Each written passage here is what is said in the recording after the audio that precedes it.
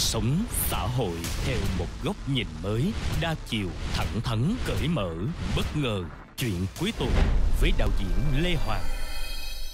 Chào các bạn, đây là chương trình Chuyện cuối tuần trên kênh VTV9. Hôm nay chúng ta rất vinh dự gặp lại luật sư Trương Thị Hòa. Dạ, thưa tôi xin trân trọng kính chào quý vị khán giả và xin trân trọng kính chào anh Lê Hoàng. Vấn đề mà có lẽ cũng rất được nhiều người quan tâm đó là luật pháp cho những người thuộc cái giới tính thứ ba.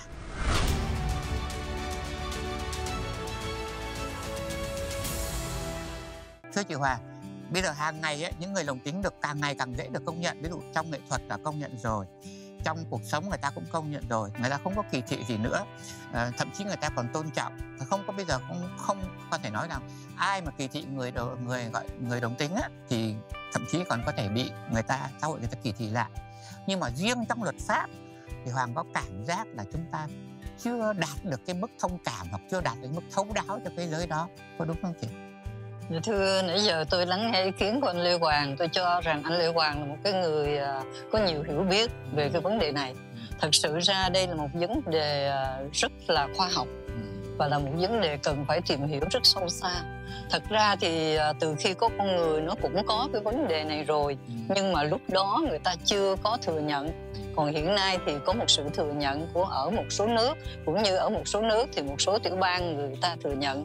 Và như vậy thì chúng ta có thể nói một cách thông thường hiện nay đó là có hai giới. Nếu mà nói theo thông thường truyền thống là giới nam và giới nữ. Nhưng mà thật sự ra thì cái đó là nếu chúng ta yêu thương nhau thường thì thật ta nói là cái xu hướng về tình cảm, định hướng về tình cảm. Thì giới nam thì thương giới nữ, yêu giới nữ. Giới nữ thì ngược lại, yêu giới nam là cái xu hướng tình cảm. Và thậm chí có thể nói là cái xu hướng về tình tình dục, nó là như vậy. Nhưng mà hiện nay đó ờ, người ta thừa nhận rằng có những người họ có cái xu hướng là tình cảm cũng như tình dục về cái người đồng giới tính với mình. Ví dụ nam thì phải yêu thương nam là ờ, có cái tính ờ, cái xu hướng bị thu hút, bị hấp dẫn bởi người nam. Cũng như nữ thì bị hấp dẫn bởi người nữ. Thì cái đó gọi là đồng tính và thật sự ra bây giờ nó lại có phát hiện thêm cái là có người song tính nữa thưa anh. Yeah. Dạ. song tính tức là vừa có một sự thu hút của giới khác giới với mình mà lại cùng giới với mình lại cũng bị thu hút tình cảm thu hút cái tình dục. Và lại có những người bây giờ lại bắt đầu lại có một cái rất mới là cái đó thì gọi là đồng tính nha. Thì bây giờ lại gọi là vô tính nữa anh. Cái này thì mới lắm. Vô tính tức là người đó không có một cái xu hướng tình cảm với cùng giới hay khác giới gì hết cái đó thì nó là rất ít thôi hiện nay mới bắt đầu như vậy. Như vậy thì thưa anh một cái ý thứ hai của anh mới vừa nói thì tôi rất đồng tình là hiện nay việt nam chúng ta chưa có một cái luật riêng cho cái vấn đề đồng tính.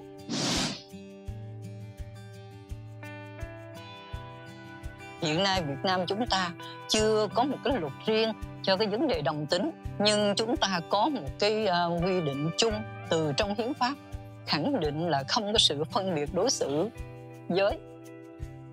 Như vậy thì giới nam hay giới nữ thường thì là như vậy rồi hiểu. Nhưng mà nếu người ta có rơi vào à, giới tính khác à, đồng tính như nãy giờ chúng ta nói thì cũng không có một sự phân biệt. Tuy nhiên nếu nói đến à, không phân biệt thì người ta nghĩ không phân biệt nam nữ thôi chứ ít nghĩ nghĩ đến cái giới tính thứ ba. Thật ra thì trong cái giới tính thứ ba hiện nay trong xã hội cũng còn có một số người kỳ thị có một sự phân biệt. Cho nên chính vì vậy có nhiều người là cùng uh, có một cái tính đồng giới đó thì người ta giấu kín cái chuyện đó người ta không muốn cho biết. Và thực sự ra pháp luật đó cũng là một cái uh, bí mật riêng tư không có được chạm đến không có được đề cập đến không có được tiết lộ ra cho mọi người biết. Và hiện nay đó thì rất mừng là chúng ta chưa có cái luật chung nhưng chúng ta có một cái luật là à, từ cái hiến pháp cho phép người ta chuyển đổi giới tính hay xác định lại giới tính. Thì những cái đó cũng là nhằm để bảo vệ những quyền này. Và chúng tôi cũng được biết là chúng ta cũng đã có một cái dự án là dự thảo luật về chuyển đổi giới tính. Thì cái dự thảo luật này đó đã ờ, dự định là năm 2019 thì có thể thông qua. Nhưng mà còn nhiều ý kiến quá cho nên chưa có thông qua được thưa anh. Dạ. À, thưa luật sư trong cái ờ, tuyên ngôn độc lập của Việt Nam á, mà chính Bác Hồ có nhắc á, thì có nhắc đến một cái câu là mọi người sinh ra đều bình đẳng yeah. Dạ. mọi người đúng không yeah. chứ dạ. không phải là nam nữ sinh ra đều bình đẳng mọi người phải được hiểu theo suy nghĩa rất là rộng và Bác Hồ từ năm 45 Bác Hồ đã đưa ra một cái câu mặc dù Bác Hồ trích từ một cái từ một câu của của hiến pháp khác thôi nhưng mà bác đã nhìn thấy một cái chuyện nó gọi là sao rất là rộng trong xã hội như vậy đấy thì bình đẳng trước rất nhiều thứ thì trong đó có hoàng nghĩ rằng phải có một thứ bình đẳng này. Bình đẳng về mặt luật pháp. Thậm chí là đi trước rất nhiều cái thứ bình đẳng khác. Thì hiện nay là hoàng đã từng ví dụ thế này hoàng đã từng có một cái câu, câu chuyện về ngồi nói chuyện với một cái cô cô chuyển giới. Và cô bị một cái là ví dụ cô đẻ con ra thì không không biết làm sao lấy gái sinh cả. Bởi vì cô là là là là là là, là nam chuyển thành nữ. Thì bây giờ là cô là mẹ hay là cha? Bản thân những người làm cái sinh họ cũng lúng túng họ cũng họ cũng không dám viết. Bởi họ bảo là cái này chưa có quy định thì từ cái chỗ đấy thì mới mới hỏi là hiện nay á mình mới có nghĩa là với những người gọi là thế giới thứ ba đó nhà nước mới có một cái luật gọi là chấp nhận cho chuyển giới đúng không ạ và cái luật đấy đã gọi là đã được thông qua chưa hay mới chỉ ở cái mức độ dự thảo thôi ạ à? thưa trước nhất thì uh, cũng muốn nói ờ, là cái việc này đã được khẳng định trong Bộ luật dân sự năm 2015 và có hiệu lực từ 1 tháng Giêng năm 2017. À, dạ. là cái luật cho phép chuyển giới. Dạ, ví dụ như là cụ thể ví dụ thế này, bây giờ một uh, ví dụ như một chàng trai uh, chẳng hạn như là uh, Nguyễn Văn gì đấy chẳng hạn, bây giờ chuyển thành một cô gái thì có quyền lên trên hộ tịch đổi tên tôi là uh, Nguyễn Thị gì đấy và giới tính nam thì xóa đi để nữ không? Khi anh ta lên như vậy thì ừ, bộ phận hộ tịch bộ phận ấy có sẵn sàng làm không? Dạ thưa hiện nay thì được hết trơn rồi anh à, trong bộ luật dân sự có quy định một người chuyển đổi giới tính thì họ sẽ theo cái giới tính mới của họ. Tất cả những quyền và nghĩa vụ tiếp tục và họ được thực hiện theo cái giới tính mới của họ. Và như vậy thì họ sẽ đi làm à, cái ờ, hộ khai sinh mới là đổi cái tên. Họ thì không đổi rồi một người chuyển đổi giới tính thì cái họ không có đổi. Và trong luật dân sự có quy định rất rõ cho họ đổi cái tên của họ. À, bây giờ hoàng muốn hỏi rất là kỹ thưa luật sư bởi vì rằng luật đôi khi mình nói thì nói nó chung chung như vậy. Nhưng khi mà lên đến hộ tịch hay lên đến phường thì họ hỏi những cái. Ví dụ thế này bây giờ một cái người nam chuyển giới thành nữ họ lên họ mang hồ sơ gốc lên. À, tôi ngày xưa tên nguyễn văn gì ha tôi sinh ngày bao nhiêu đó, cha mẹ gì địa chỉ đâu? Thì chẳng hạn như phường có thể gọi là, anh, ví dụ như là bây giờ chị chuyển giới thành nữ thì chị có cần cái xác nhận của bệnh viện không? Nếu mà có thể cái chứng nhận không? Chứ không phải là bây giờ chị cứ thích là chị cứ nói là tôi phải đổi, vì như thế có thể nó sinh sau này nó có dính đến những cái vấn đề pháp luật nữa. Vậy thì chị phải trình những cái gì để chị nói rằng cái sự chuyển giới này là hợp pháp? Dạ anh hỏi cái câu đó rất là trúng Cho nên không có thể nghĩ rằng là mình muốn đi chuyển đổi thì đổi ừ. Mà tất cả phải tiến hành theo một thủ tục, theo luật định. Như vậy thì mình có phải xác nhận của cái cơ quan à, gọi là bệnh viện y tế, cơ sở y tế mà được phép làm đó, Chứ không phải tất cả cơ sở y tế đều được phép làm. Và trên cơ sở những cái giấy tờ đó thì người ta mới thực hiện cái việc xác định lại à, trong những cái giấy tờ cái của mình. cụ thể thưa luật sư ví dụ như thế này. Trên thực tế thì rất nhiều nhiều cô gái hoặc chàng trai Việt Nam là sang Thái Lan sang Thái Lan và họ chuyển giới. Và Thái Lan thì nó có rất nhiều bệnh viện. Bệnh viện nổi tiếng cũng có bệnh viện bình thường cũng có. Thế thì bây giờ họ sách một cái giấy xác nhận của bệnh viện Thái Lan họ đưa về cái cơ quan luật pháp Việt Nam. Thì cái bệnh viện nào được công nhận và cái bệnh viện nào không được công nhận mình có ghi không? Dạ thưa anh thì hiện nay như thế này nếu đi vào thực tế thì có cái chuyện là cái thứ nhất nếu mà chuyển uh, chuyển đổi giới tính mà chui đưa đến cái cơ sở làm không có hợp pháp thì cái đó là cái thứ nhất là chui thì thôi dứt khoát không được chấp nhận rồi. Cái thứ hai nữa đi ra nước ngoài làm. Thì đi ra nước ngoài làm thì hiện nay cái cơ sở y tế của bên nước ngoài đó có được Việt Nam thừa nhận hay chưa? Thì cái chuyện đó nó phải đòi hỏi rất là rõ ràng trong cái này cho nên chính vì vậy ở đây nó cũng là quá lung tung bởi vì xin lỗi luật sư chứ ví dụ bây giờ bệnh viện Việt Nam chẳng hạn cái bệnh viện nào ở Việt Nam bây giờ mà xác nói rằng là được phép được nhà nước cấp giấy phép cho chuyển đổi giới tính có bệnh viện nào ở, ở Việt Nam mà đề rằng là ở đây chúng tôi nhận chuyển giới hợp pháp. Có bệnh viện nào ghi như vậy dạ, đâu? thưa có chứ. Có bộ y tế là bộ mới là là công nhận bốn cái đơn vị. Rồi khi à, mà muốn làm rồi à? À, thì người ta là ghi rõ cho nên tiến hành đúng thủ tục hết. Và hiện nay anh Hoàng cũng yên tâm là những người muốn chuyển đổi giới tính đó đó họ đi hỏi rất kỹ và à. họ được hướng dẫn rất kỹ. Do đó bây giờ thì từ khi có cái bộ luật dân sự mà có hiệu lực rồi đó à. thì nó đồng bộ với luật dân sự là luật về hộ tịch rồi tất cả những chuyển đổi người ta quy định rất rõ. Như ví dụ người chuyển đổi giới tính đó họ có những cái giấy tờ liên quan về nhà đất ừ. họ có những giấy tờ liên quan về bằng cấp thì tất cả người ta quy định rất rõ là cái người thủ trưởng của cái các cơ quan cấp đó phải chịu trách nhiệm chuyển cho à, người ta à, thay đổi. Như vậy là theo luật sư Hòa cho biết thì bây giờ là nếu một người chuyển giới thì thứ nhất là được luật pháp Việt Nam công nhận. Dạ.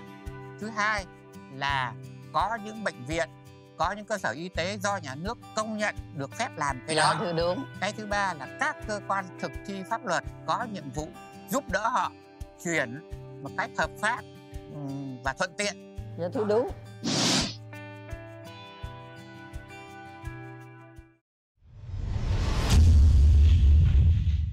Thế bây giờ đến một cái khoảng khác mà những người đời giới rất là cần luật kết hôn đồng tính thì chúng ta chưa có phải không?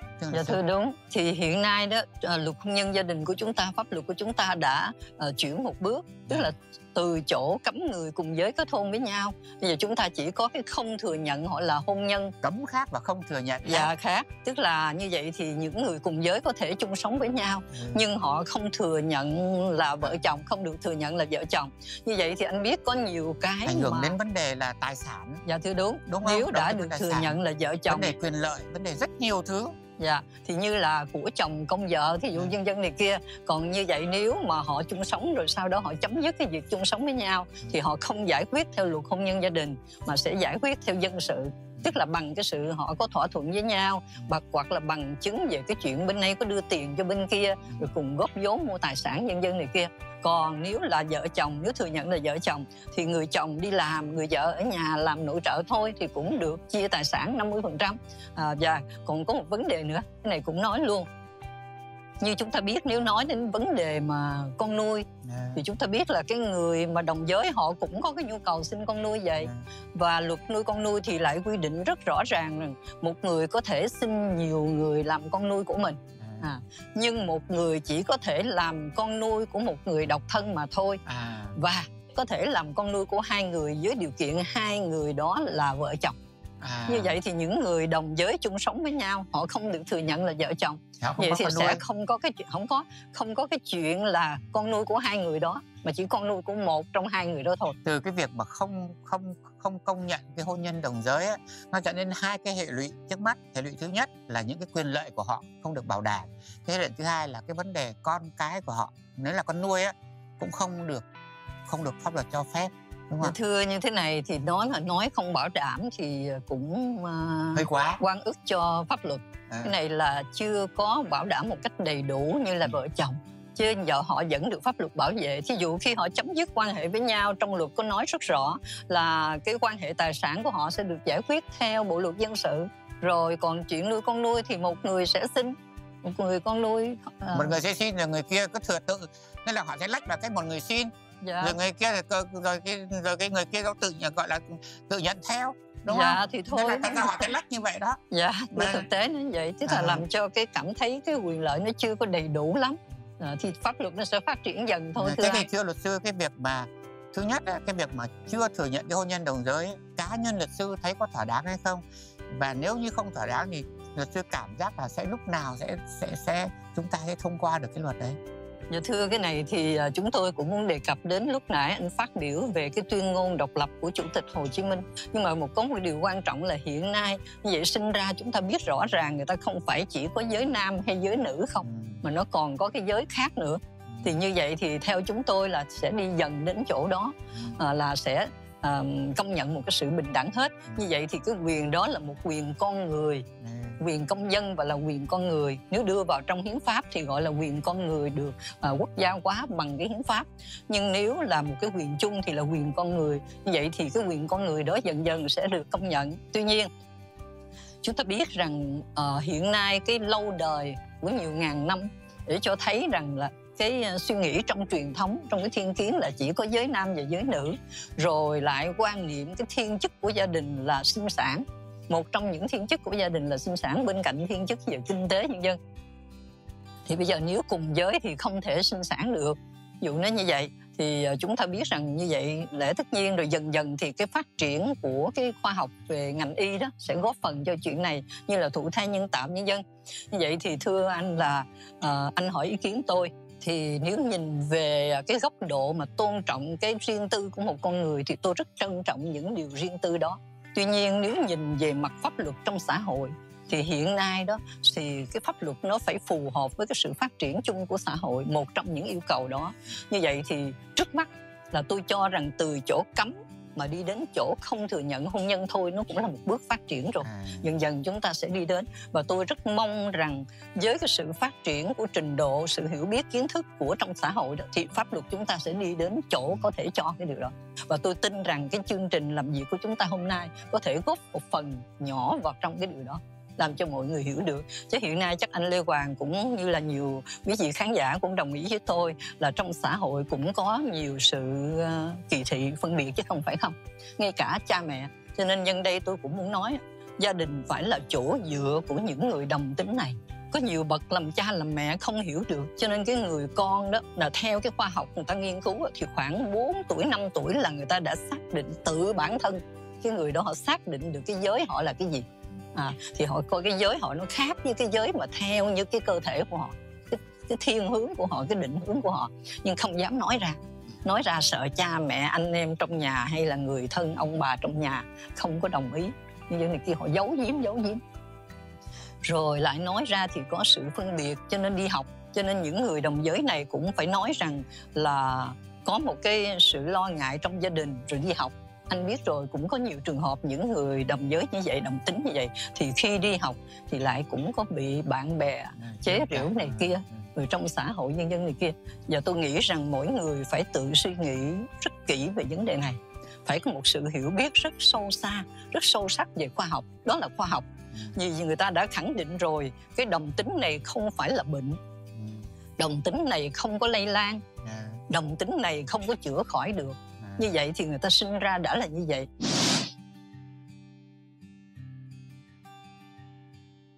Thật ra đó nếu mà xét đó, mà so với cách đây 10 năm thôi thì cái quan điểm về cái gọi là những người đồng đồng tính á, là cũng đã thay đổi rất là nhiều đã tiến bộ rất là nhiều. Nhưng mà đối với họ thì họ vẫn cảm thấy chưa đầy đủ. Theo luật sư á, thì là mình cũng phải xét rất là các mình phải xét đến truyền thống rồi mình phải xét đến những cái ảnh hưởng của xã hội. Nhưng mà mình có mình có bị chậm quá không?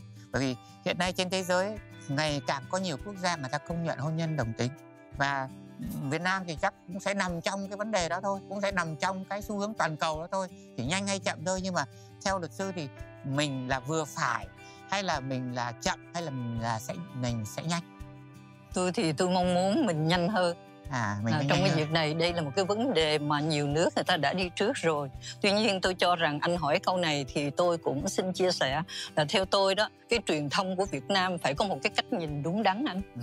chứ nhiều khi đưa vào trong uh, uh, những tin đưa vào những cái câu chuyện uh, phim hay là uh, kịch hay gì đó đưa cái hình ảnh của cái người đồng tính đó. Là luôn luôn là đưa theo kiểu giễu cợt à. Đúng cái đấy là ra... cái đấy là tôi, tôi, tôi, cái đấy là dở vô cùng. Yeah. Dạ, tại sao chúng ta không thể có những cái phim hay những cái câu chuyện trong kịch uh, là một cái người đồng tính nhưng rất thành đạt thí dụ vậy và họ sống rất là đàng hoàng chứ đâu phải sống à, hiểu ợt nói chuyện thế này kia đâu. À, tự nhiên mình đưa lên cái hình ảnh đó cho nên làm cho người ta cảm thấy khác. Chứ mình đưa ra một người đồng tính họ chỉ là một cái quan niệm một cái suy nghĩ một cái định hướng và rất là con người về cái chuyện yêu cùng giới uh, quan hệ rằng nghĩ rằng tình dục cùng giới nhân dân này kia. Chứ đâu có làm gì đâu. Mà tại sao mình đưa ra xấu xí hình ảnh xấu xí vậy cho nên tôi mong rằng xã hội sẽ đi nhanh hơn. Nếu mà vai trò của những người phụ trách về truyền thông à, những người cầm bút cầm viết nhân dân này kia phải có cái quan điểm này sẽ chuyển hướng tác động vào trong xã hội. À. mong anh cũng có phần vào đó. Vâng.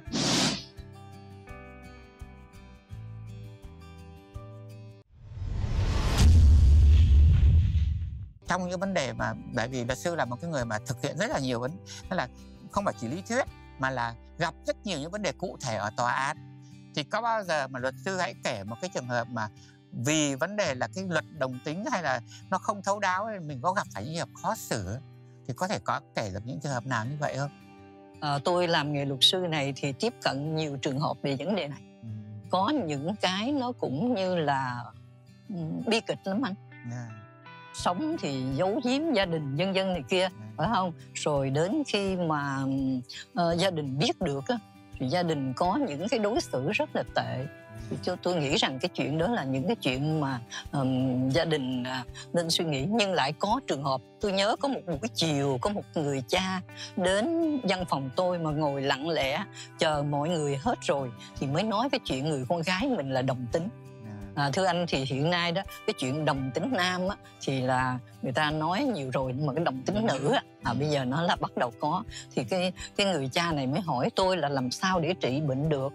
À, cho rằng đây là một cái bệnh À. con tôi nó mắc bệnh cô ơi nó thương cái bạn gái của nó. Cái hỏi sao biết? Cái ông nói là tôi tình cờ tôi đi à, về rồi tôi biết tôi phát hiện được. Rồi nhân dân này kia rồi cái ổng nói giờ làm sao trị được? Ý ổng nói ổng muốn dời nhà ổng đi rồi ổng muốn nói ổng đi ra nước ngoài ở thì có hết không?